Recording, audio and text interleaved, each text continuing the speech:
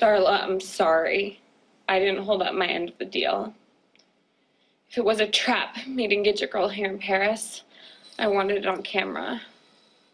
If it wasn't her that called, and it could have been anybody, I thought the camera, maybe that could somehow save me.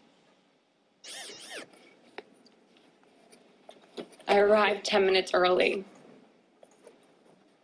and waited and waited. Maybe she showed, saw the glasses, knew I had a camera. Maybe she balked. I'll never know. Remember this face?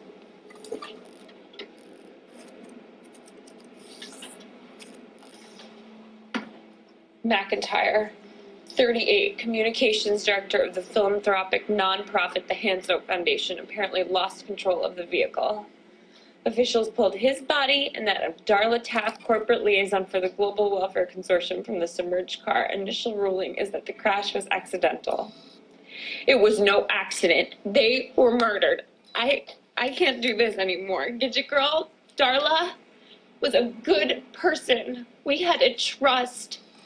I knew from the beginning that she was Hugh's mistress, and she knew that I was perceptive.